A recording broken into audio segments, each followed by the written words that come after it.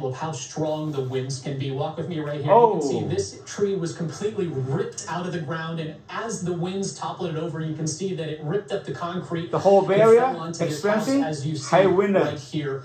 Shattering The whole window. week, man, only to goes them, wow. across the entirety of the roof of this home here in Redwood Hmm. City.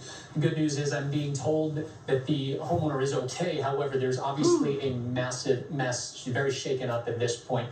We spoke with a neighbor who was home at the time when this tree went down. Wow. This is what he had to say. Listen to this. It sounded like kind of like an earthquake, actually. A big, massive kind of rattling sound of the house, and then then it ended pretty quickly. And that was about it.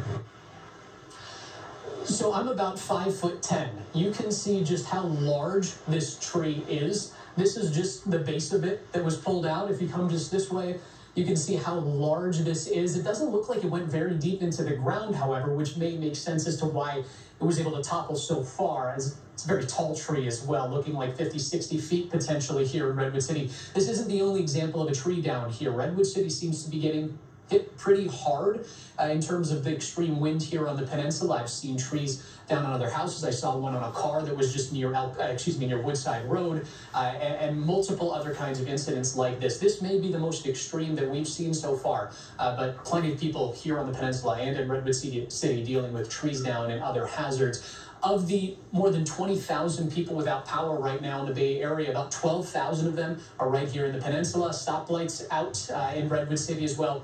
It's going to be a long one, long afternoon here in Redwood City. Reed? Yeah,